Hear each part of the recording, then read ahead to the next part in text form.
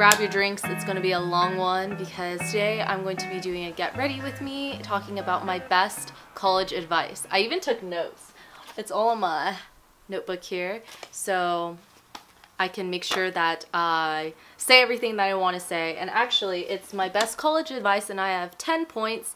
I feel like each point probably has like a whole bunch of like sub points involved.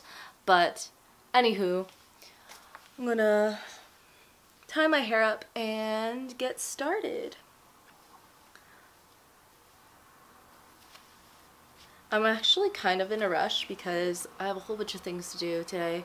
I'm actually going to be going to go see Les Mis with my friend. Her and her boyfriend somehow got a free ticket to go see Les Mis. Like they're going and I think one of their coworkers can't go so they're like looking for people to you know use the ticket and she asked me and she's like hey do you want to go and of course, because it's free, I'm gonna go. But that means I'm kind of in a rush to film this video. So hopefully it does not take as long as I feel it will take. Um, but who knows? I'm gonna use this Laura Mercier tinted moisturizer.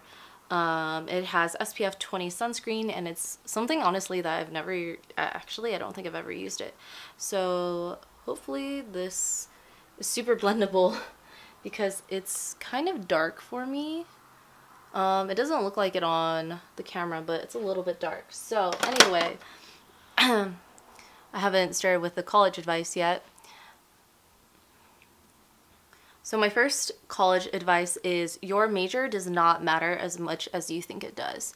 I feel like there's all this pressure um, when you go into college that you should know exactly what you want to do. Like everyone's all like, yeah, I want to do comp sci and I want to go into like this specific like super specific like software engineering thing and it's okay not to know what you want to do. Um, it's honestly a super wild expectation for of society to be like, oh yeah, at 18 you should just know what you want to do for a career for like the rest of your life, which honestly careers change and plans change. So even if you go into college thinking, oh yeah, I'm going to major in this, you might end up doing something totally different. I do know a few people who are like, yeah, this is what I want to major in and this is what I want to do and they've kind of always known like what path they want to be on.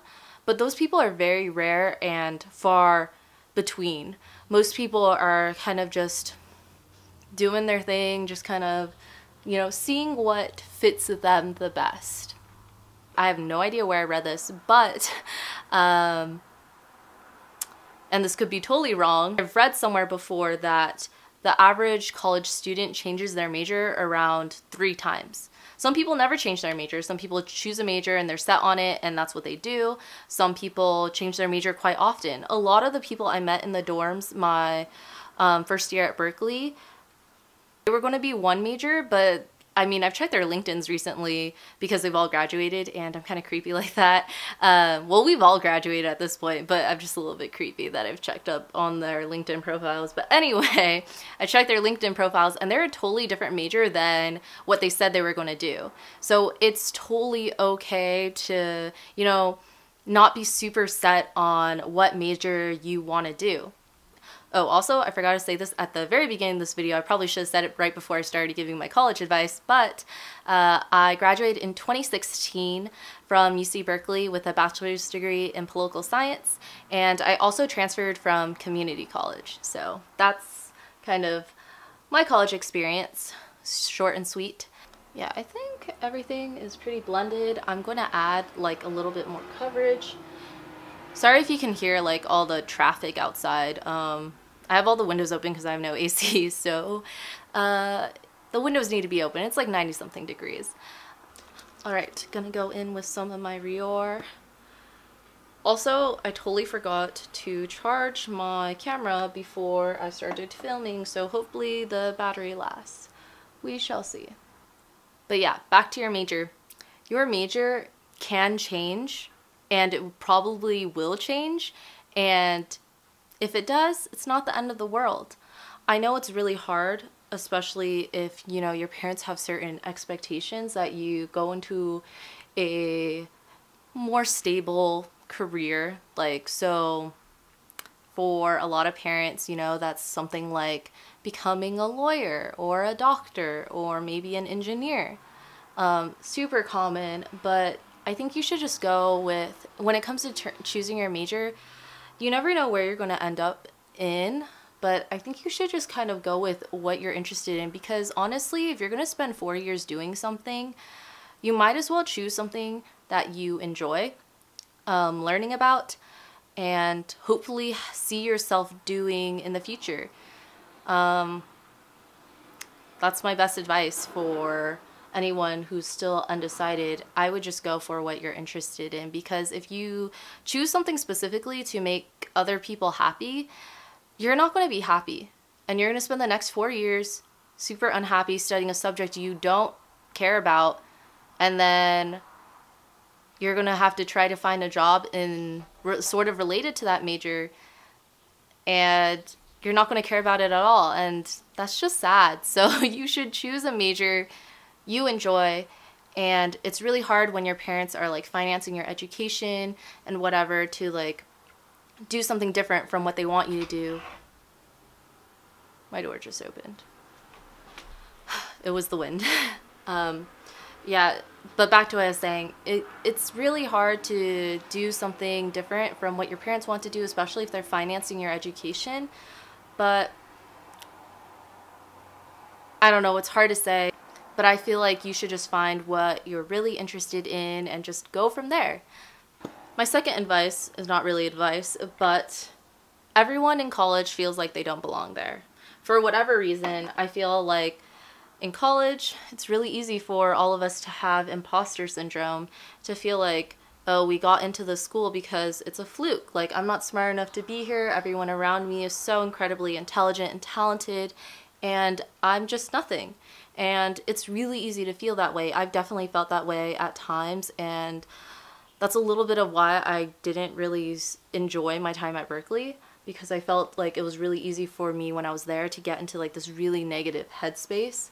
And you know it was just somewhere I didn't want to be but everyone feels like an imposter you know? And you can be so accomplished and still feel like you're a fake and you're just like you know when is somebody going to find out that I'm a fake? Like you're just waiting for somebody to realize oh that they made a mistake and that you really shouldn't be here at this university or whatever but honestly it's not a mistake out of all the applicants you were chosen based off of your GPA and your extracurriculars and your personal statements.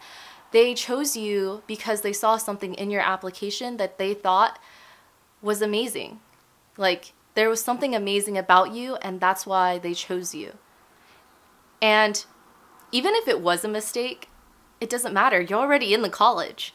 Like, it doesn't matter. They're not going to expel you unless you do something totally against their rules, but that's like a different story. It doesn't matter because somehow by luck, if it was a mistake, you were lucky enough that they made a mistake and they chose you. There's that one quote, I think it's something like success is 99% hard work and 1% luck. You had that 1% luck to get chosen. Now the rest of it is all up to you. That 99% hard work, that's all you. And you're going to be able to get through these four years or however long it takes you to graduate with your hard work and determination. And that's all you. Like, no matter how you got in, like, how you get through college, which is the important part, is that's that's just all you. It's super cheesy, but it's true. And then there's that other quote, right? If it was luck, luck is when preparation meets opportunity. So you must have had the opportunity and you were prepared for it, and that's why you were chosen. That's why it happened for you. That's why you got selected to go to this university and you were accepted. You are not an imposter just trust me on this, okay? You guys all deserve to be there. You guys worked hard and you put in the hard work in your applications and you were chosen and that's why you're there. Forget about other people. Everyone around you in college, that's why they were chosen, okay? Like it doesn't it doesn't really matter so much how you got there. It's more like what do you do with this opportunity now that somebody from up above, you know, like the administration has chosen you as a student, what do you do with this opportunity that they have given you? That's what matters the most. Oh my god, I feel like I'm talking so much and like not putting on any makeup. All right, I think that's it for the base. Um, I haven't done my makeup in so long that I don't know what I'm doing right now. I'm just like, what do I do now? Whoa, my, I'm super overexposed right now. I need to, hold on. Sorry about that minor malfunction. Um, what was I saying? So my third advice, I think, is not as it's it's not as popular. I'm sure you've all heard this thing. It goes around the internet and it's something like we all have the same amount of time in the day as Beyonce, so you have no excuse.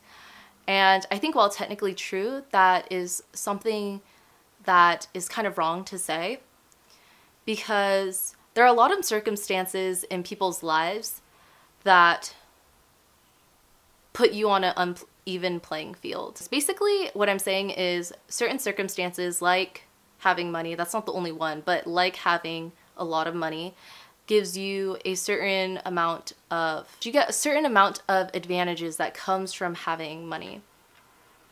There's also other like other circumstances that aren't related to money. For example, in when I was going to high school and community college, I lived like the super weird lifestyle where basically um, I would commute like an hour each day in high school to go to high school because I went to high school outside of my district because of these weird circumstances I'm not really going to go into.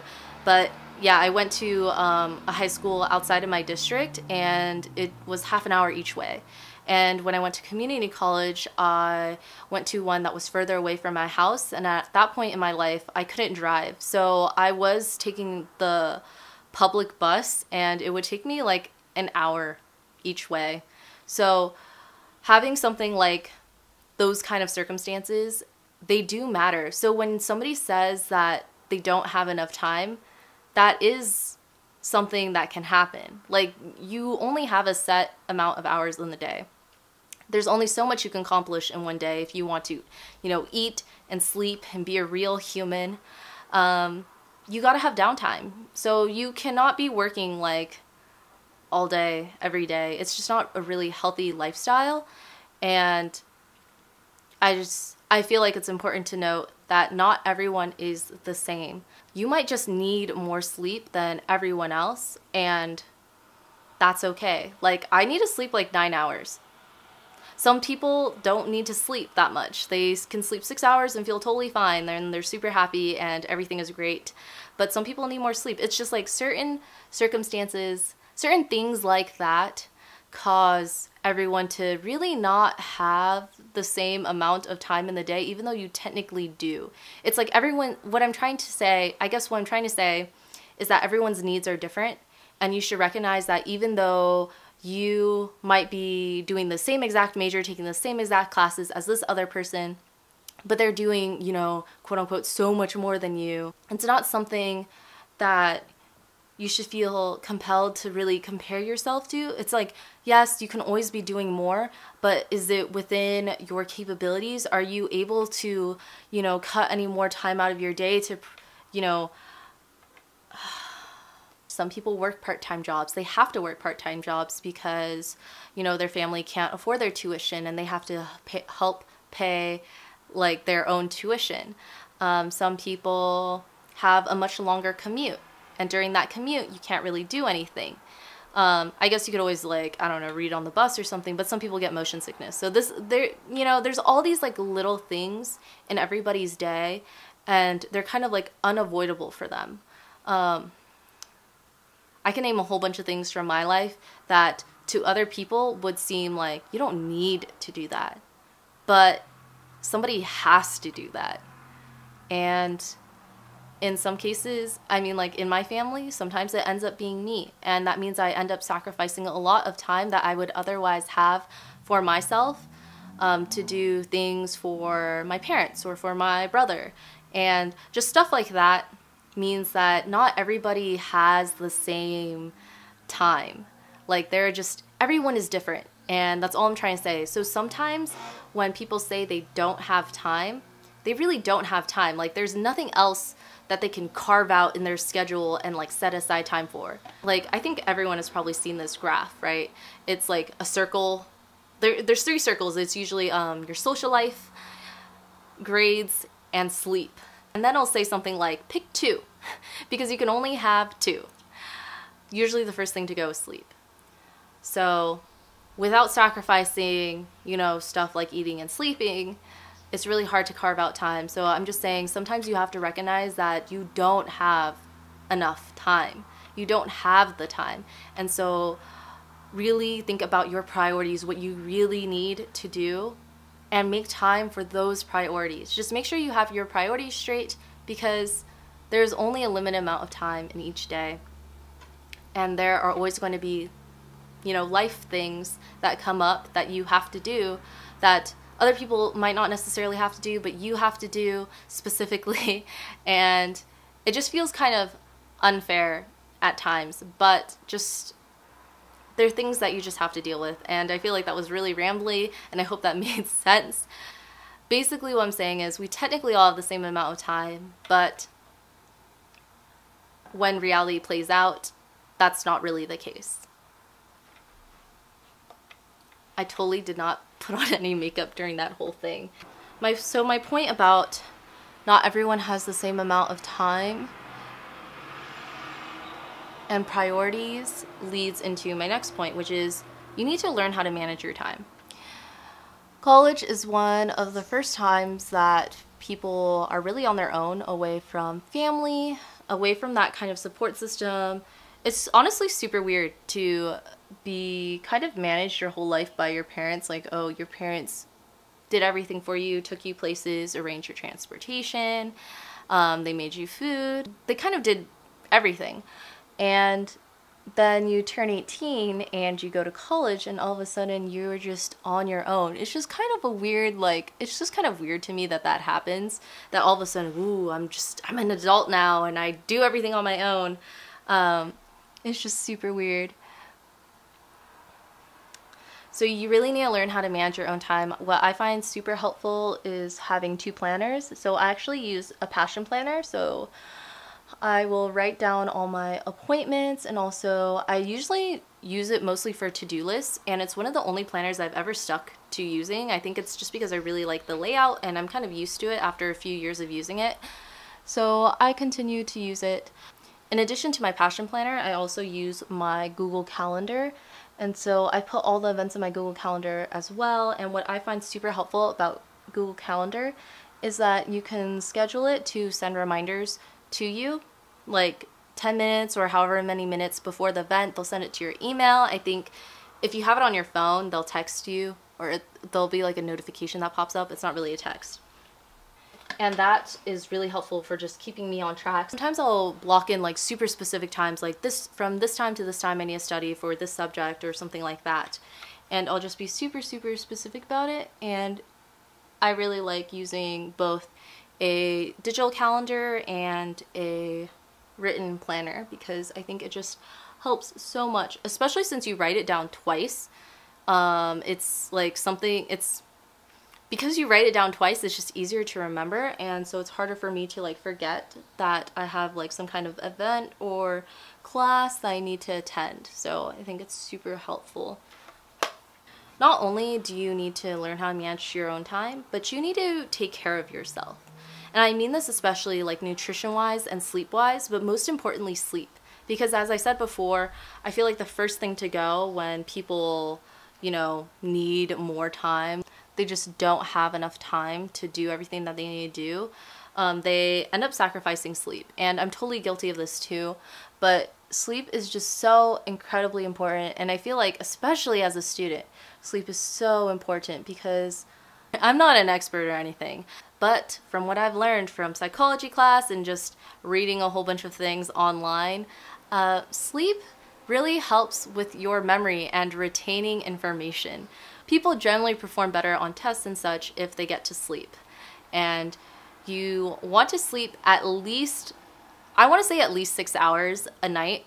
I feel like anything less than that, you're just kind of totally dead. But I feel like if you sleep at least six hours a night as a student, you're pretty good. That's on like six hours a night, I think is already on like the lesser side of how much, you know, you should be sleeping. But it's better than nothing in my opinion. And that's honestly what I feel is like the secret to my success in college. Um, is that I slept like not a lot, but I slept a decent amount and I always made sure to sleep at 12 and get at least six hours of sleep every day before a class. Um, and I think that just, it helps so much, especially since sleeping just helps so much because when you sleep, you know, your memory consolidates and it turns into like long-term memory and blah, blah, blah, all the stuff that I don't really know too much about. But either way, it totally helps you remember and retain information that you learned in class, in lecture, and all those discussion classes you attend in your study groups. It's just sleep is better for you.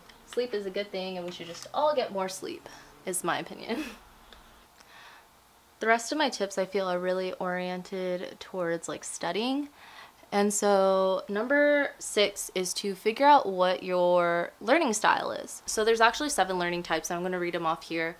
Um, so they are visual, oral, verbal, physical, logical, social, and intrapersonal. So visual is like if you learn really well looking at like pictures and images, graphics. Oral is like if you learn really well by listening. Verbal is if you learn really well by speaking and writing. Physical is kind of like if you need to be doing something with your body or your hands. Um, it's just easier for you to like retain information that way. Um, logical, I don't really understand, but it has to do with like logic and reasoning. And then socials, if you study well in groups or with partners. Um, and interpersonal is if you like to work alone and self-study. So I think it's just really important to figure out your learning style because that will just help you a lot when it comes to preparing for any midterms and finals. If you just know how you like to study, then you'll study that way and it'll just be easier for you to retain information. So personally, I know that I really like to study in groups actually, except I'll only study in groups after I've kind of learned the information myself because that way when I'm in the group, I can, you know, help, you know, teach other people like the concepts and it will be easier for me to remember because how I learn best is if I teach it to myself first and then I try to teach it to other people. So what I would do in like the privacy of my own room is that I would kind of like just talk to myself and act like I'm both the teacher and the student and I would teach um, the material to myself.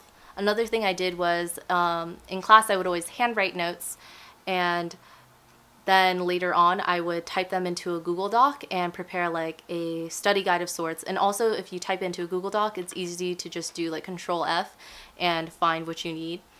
I would also redraw any diagrams that I would need to memorize because that just helps you like learn it better, or at least for me.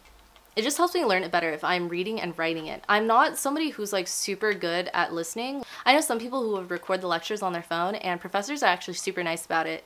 Most of them will let you um, put your phone like up at I don't know the stand what I forget what that stand is called but they'll just let you put it up at the front of class where they're standing and let you record their lectures so you can like listen um, to it later on I never did that because I personally don't like listening to things I just don't retain as much information if I have to listen to it I'd rather just read it because I'm a much faster reader than like I am a, a listener so I personally prefer reading but I would take super, super detailed notes, um, almost like word for word what the professor is saying if I can, because that's just that's just how I uh, learn the best. That's just how I retain information.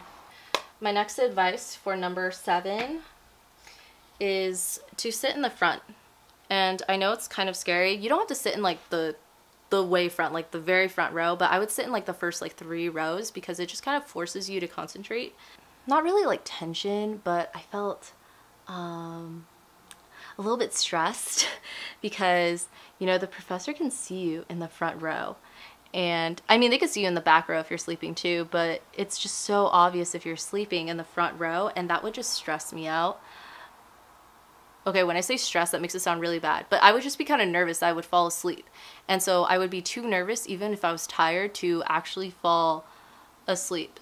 So that's one trick if you guys are I don't know, constantly tired is to, I don't know, try to sit in the front because one, it's hard, it's easier to not get distracted um, because the professor's so close to you. And two, um, you know, you might be like me who gets like kind of stressed that the professor is so close to them. Also part of number seven, do not skip lecture. Lecture is so important. Do not skip ever. Why shouldn't you skip? Because you're paying for that. Like, why would you? You're paying so much money for college. I don't understand like people who would skip class because you're just like you're paying so much money and for you're paying so much money for a service and the service you're paying for is to go to class. And if you don't go to class you're kind of just throwing money down the drain. Um, it's also just so much easier for you if you go to lecture because you could take your own notes instead of relying on somebody else's notes. And I feel like just being there, like even if your lecture was recorded and put up online, I feel like it's just so much better to be in person because we always tell ourselves, oh, we'll watch the video, you know, from our dorm room. And that never happens. You're just going to you're just going to not watch the videos and you're going to miss huge parts of the class and not understand anything. So you should just go to lecture and absorb as much information as you can. So sit in the front, don't lose focus and you can get through those like 3-hour lectures because that's what you're paying for. Number eight is to talk to your professors and TAs. This is especially important if you are anyone who is looking to go into any grad school program. You're to need to get recommendation letters from your professors and TAs, so you really want to get close to them and for them to know that you know you're a very like active student who's like genuinely interested in the subject so get close to your professors also they're super friendly like that's why they have office hours is for you to go and ask questions i'm sure they're like required to have office hours, but take advantage of them. Professors are super interesting, super knowledgeable, and so are the TAs. So you should go see them, especially if you have any questions at all. They're more than happy to help because honestly, I don't think a lot of people go, and it might be kind of boring for them to just sit there for like three hours or however long their office hours are, and nobody shows up. So you might as well take advantage of the fact that nobody is probably going to show up and go there and ask your questions that you couldn't ask in class. So just go because this is also a service you're paying for. You are your tuition goes into their salaries probably. I don't know where the money actually comes from but i'm assuming it comes from your tuition. So you paid the tuition you should go to office hours ask those questions get those rec letters. I like haven't even finished my makeup yet but honestly i think my camera is about to run out of battery so you know eye makeup is mostly done except for mascara so we're just gonna keep on going with advice and hopefully uh, this will not run out of battery before I'm done. So number nine is college is what you make of it. It doesn't matter if you went to like, I don't know, an Ivy League school or a UC or something. I mean, there is like a certain standard that you of school you want to go to. Like you don't want to go to like one of those, you know, for-profit schools where they're just trying to scam you out of your money. But after that, like any state school, any private school, like just school school. School like college is what you make out of it. It's an opportunity that you have and you take and you work hard and you put all your energy into it and you do well. And whatever whatever happens is what happens. I feel like there's this whole idea of like you know all the colleges are kind of ranked you know the us news whole thing and like the number one public university berkeley whatever. But it honestly doesn't matter what school you go to in the end. Like all anyone cares about is that you have that bachelor's degree. It doesn't matter if you go to community college and you transfer, okay, like you're getting your bachelor's degree. I did that, it's totally fine. So many people have done it and it saves money. There's no shame in it. So college is really what you make out of it. What I'm trying to say is even if you go to like just a state like a state school and it's not like I don't know like in the top like 20 of colleges in the US or whatever, you can still do well. You're going to still succeed. It's all about the work you put into it, getting and like getting those internships and just working hard and making those connections. That's how you are going to succeed in life. It's all up to you. Remember, success is 99% hard work and 1% luck. So, it is what you make of it. Along the same thread, I want to encourage you guys to put yourself out there because there's so much stuff on campus that you can do. There's so many clubs you can join, there's so many classes you can take, and I feel like I didn't do a lot of those things when I was at Berkeley or when I was at community college because I was afraid to put myself out there, which is kind of silly. But fear really holds a lot of us back, and we shouldn't let it do that. Like, I was afraid of taking more like artsy classes like in film or like graphic design because I was scared I wasn't going to be creative enough. But nobody in my life has ever told me I'm not creative enough. It's always just been me telling myself and like putting myself down and telling me that I didn't have what it takes. But nobody else really cares what you're doing. They they just don't care.